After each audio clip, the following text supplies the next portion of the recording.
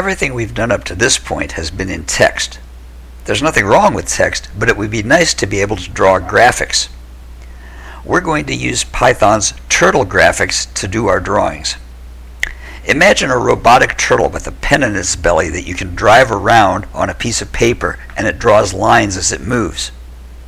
Instead of needing a physical device, Turtle Graphics let us draw the lines on the screen. By the way, these Turtle graphics are based on the Logo language developed at MIT by Wally Feurzeig, Seymour Papert, and Cynthia Solomon. I'm going to do most of my experimenting with Turtle graphics in the shell. The first thing we have to do is import the Turtle module or library. The next step is to create a window for the turtle to inhabit.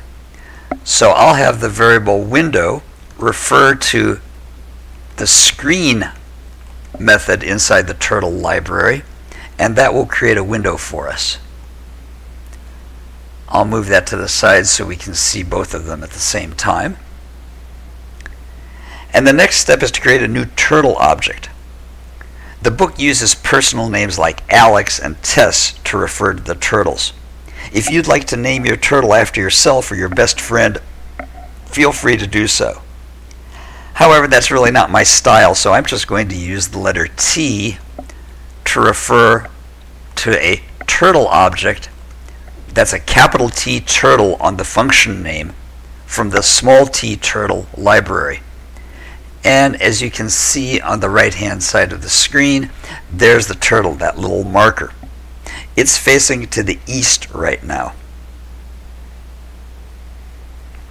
You can now give commands to the turtle object to say, make it move forward 150 pixels. T dot forward 150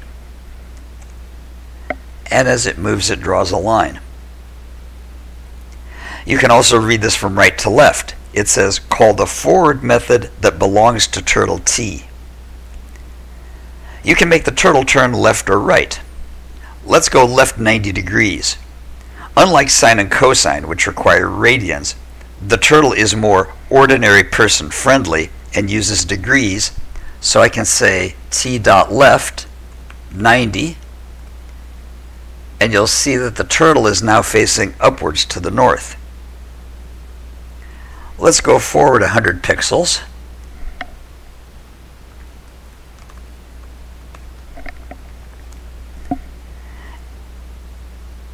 And then right 45 degrees.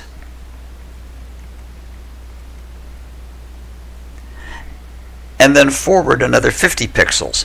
And this time I'm going to abbreviate forward as FD to save myself a little bit of typing.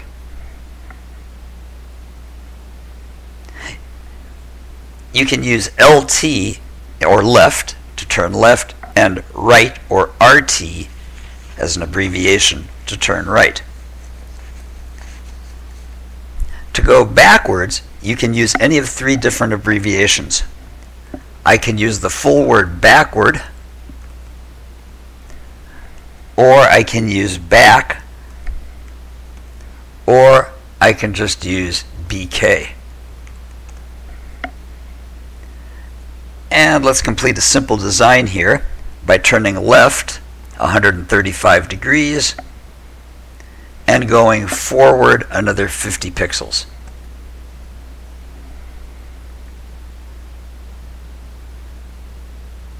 There are plenty of other things you can tell the turtle to do. To erase everything the turtle has drawn so far and return it to its original position, use the reset method. T dot reset. In order to preserve room for my subtitles, I'm going to clear the shell now as well. You can change the color of the pen using the color method. So let's use the word green, and the green has to be in quote marks. And you'll see that the turtle marker has turned green. The video description has a link to the list of all the color names that you can use. The color change is more apparent when we go forward. And you can change the background color of the entire window with the BG color method. So I can tell my window background color to be bisque, which is sort of a nice peach brownish color. I can make the pen width thicker by using pen size. So let's make the pen 3 pixels wide instead of 1. And you'll see the difference when I move forward. And I can change the shape of the turtle to look like a turtle by using the shape method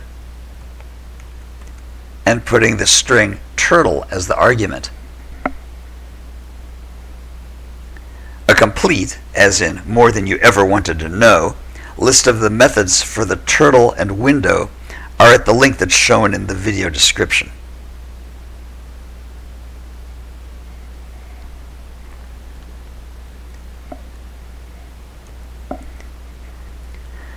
Here's a complete program that draws a square.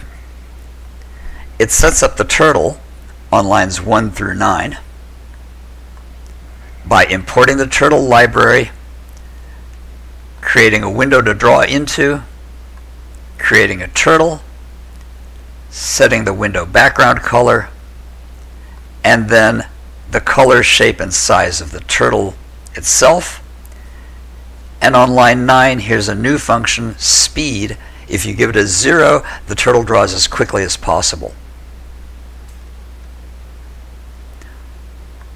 On lines 12 through 19, I draw a square by moving 150 pixels and turning left 90 degrees and doing that four times in a row. And at the end, I hide the turtle which leaves the square all by itself. Let's run the program and see what it looks like. And voila, there's the square. At this point, I suggest you just pause the video and go wild and draw anything you like from the shell. Then try expanding the square program to draw a house by drawing a triangular roof up at the top. I've written that program and here's what it looks like when it runs. This is without the fastest possible speed. So give it a try and start familiarizing yourself with Turtle Graphics in Python.